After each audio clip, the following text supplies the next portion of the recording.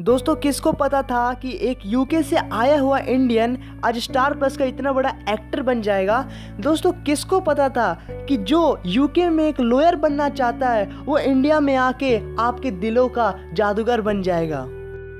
तो दोस्तों, मैं बात करने जा रहा हूँ one of the finest actor none of them Vikram Singh Chauhan की, जिन्होंने आपके दिल पर राज कर रखा है, ये जादू है जिनके सीरियल से। तो दोस्तों, आज हम विक्रम सिंह चौहान की बायोग्राफी जानेंगे। तो अभी तक अगर आपने मेरा चैनल सब्सक्राइब नहीं किया तो कर ली लाल बटन को दबा के। और विक्रम सिंह के फ़ैन है तो इस लाइक बटन को ठोकना बिल्कुल भी ना बोले तो चलिए दोस्तों, आज की हम बायोग्राफी स्टार्ट करते हैं। आई होप आपको ये बायोग्राफी अच्छी लगेगी। दोस्तों, विक्रम सिंह चौहान का जन्म उत्तराखंड के शहर देहरादून में 19 अगस्त 1988 को हुआ। विक्रम को एक्टिंग देखना ज़्यादा पसंद था, ना कि करना। इसीलिए वो ट्वेल्थ पास करने के बाद मास्टर ऑफ़ लॉ कोर्स करने की ठानी और वो इसके लिए यूके गए। दोस्तों, विक्रम सिंह चौहान चार साल का कोर्स कर रहे थे यूके में, यानी कि आप लंदन इंग्लैंड मान सकते हैं। तो फ्रेंड्स, जब वो यहाँ पे चार साल का कोर्स कर रहे थे, तभी उनके एक एक्ट्रेस फ्रेंड ने उन्हें सजेस्ट किया कि आप प्लीज़ पार्ट टाइम एक्टिंग का भी कोर्स करें, क्योंकि आप में वो बात है कि आप एक हीरो बन सकते हैं। तो दोस्तों, फिर क्या?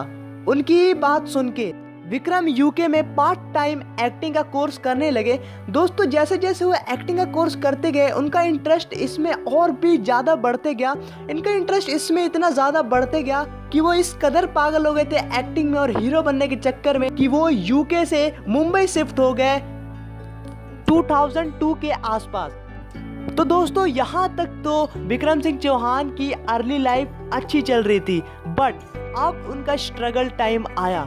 जहाँ पे उन्होंने बहुत सारे स्ट्रगल देखे, क्योंकि मुंबई में जब वो आए तो यहाँ पे उन्हें कोई भी दो साल तक कोई भी काम नहीं मिला। उन्होंने इतने सारे ऑडिशन दिए और इनमें इनको इतनी बुरी तरीके से रिजेक्ट किया गया कि अगर इनके सामने अगर कोई और होता तो डेफिनेटली वो कभी भी एक्टिंग नहीं करता। लेकिन दोस्तों, विक्रम सिंह चौहान ने कभी भी हार नहीं मानी। उन्होंने सबसे पहले मुंबई में सरवाइव करने के लिए एक अच्छी सी जॉब पकड़ी। हालाँकि उनको अफसोस था कि मैंने यूके से यहाँ आके एक बहुत बड़ी गलती कर दी है। अपने दोस्त की बात मान के मैंने सबसे बड़ी गलती कर दी है बट अब मुझे कुछ करना है।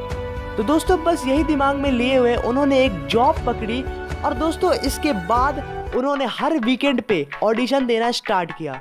दोस्तों, वो कई ऑडिशन देने के बाद उन्हें एक एड फ़िल्म ऑफ़र हुई और वो था उनकी लाइफ का सबसे बेस्ट मोमेंट जहाँ उन्होंने एक एड फ़िल्म करी। जी हाँ दोस्तों, जो कि 30 सेकंड का आप टीवी पे ज़रूर देखते हैं। तो उन्होंने ऐसे कई एड्स किए। शुरुआत में दो एड्स किए बट उसके बाद भी बहुत सारे एड्स किए। ऐसे ही करते करते विक्रम सिंह चौहान मॉडलिंग में भी चले गए और उन्होंने कई मॉडलिंग की।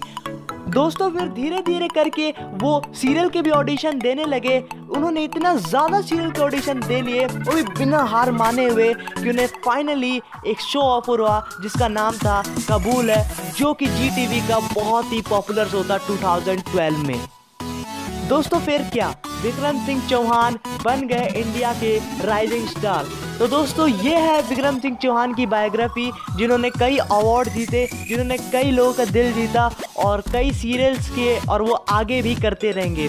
दोस्तों, विक्रम सिंह चौहान से अभी भी पूछा जाता है कि आपने जो पहले किया, क्या आप दोबारा इसे कर सकते हैं? तो दोस्तों विक्रम सिंह चौहान हंस के जवाब देते हैं, बिल्कुल भी नहीं, क्योंकि उनको लगता है कि मैं ऐसा दोबारा कभी भी नहीं कर पाऊँगा, क्योंकि ये बहुत ही ज़्यादा मुश्किल है। मुझे भी नहीं पता ये कैसे हो गया। विक्रम सिंह चौहान का ये जवाब है। खैर, आपको कैसे लगते हैं विक्रम सिंह चौहान? प्लीज़ नीचे जाइए, इस कमेंट करिए, इस कमेंट बॉक्स में। और दोस्तों, चैनल को ज़रूर सब्सक्राइब कर लीजिए लाल बटन को दबा के। तो चलिए मिलते हैं अपने नेक्स्ट वीडियो में, एक नेक्स्ट बायोग्राफी के साथ। तो तब तक के लिए शबा खैर।